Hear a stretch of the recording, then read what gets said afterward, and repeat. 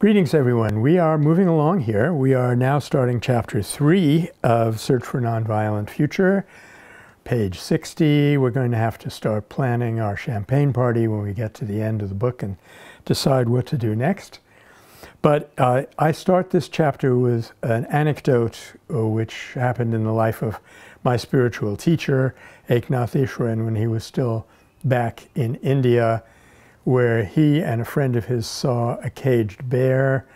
And you can come across these scenes in India today uh, where bears or monkeys are mistreated. And the friend was furious and he said he was going to go home and get his gun. And uh, kind of, although he hadn't really started meditating yet, he was still instinctively feeling that shooting a person to save a bear was not the right equation. So he said, wait a minute, let's see what I can do.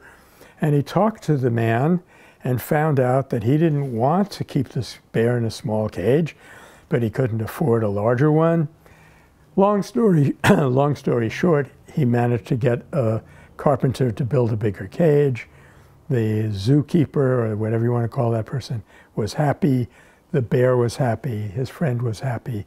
All the people seeing this animal, consciously or unconsciously, were happier and I present this as a classic example of how nonviolence is sometimes what an African American activist recently called a way out of no way.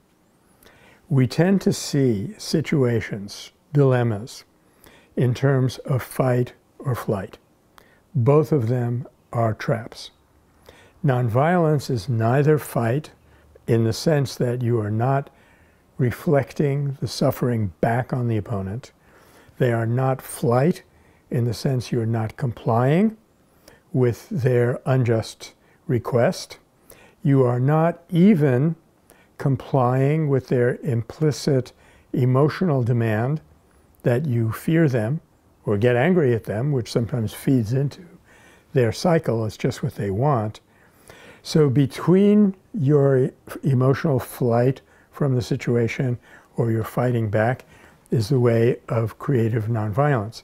And now to talk about what is the dynamic there, what is the driving force? There uh, turns out that both Gandhi and King were very articulate on this point. Uh, you will remember that Gandhi said, I have learnt through bitter experience the one supreme example to conserve my anger and just as steam conserved can be turned into energy, so anger conserved can be turned into a force to change the world. Likewise, and I don't know whether he read this or not uh, in Gandhi, but Martin Luther King was challenged one time that his movement had caused a lot of anger. We'll, we'll talk about that. At some point, he actually unleashed some frustration but he said, we did not lead to outbursts of anger. We harnessed, this is the key language here. We harnessed anger under discipline for maximum effect. And that's the idea I would like to share with all of us who are frustrated and, and unhappy with the innumerable injustices in our world. The question we have to face in ourselves is very often what am I going to do about this? Am I going to try to express my frustration or am I going to try to change the problem? I can express my frustration by beating up on the other person or by going out and holding a protest.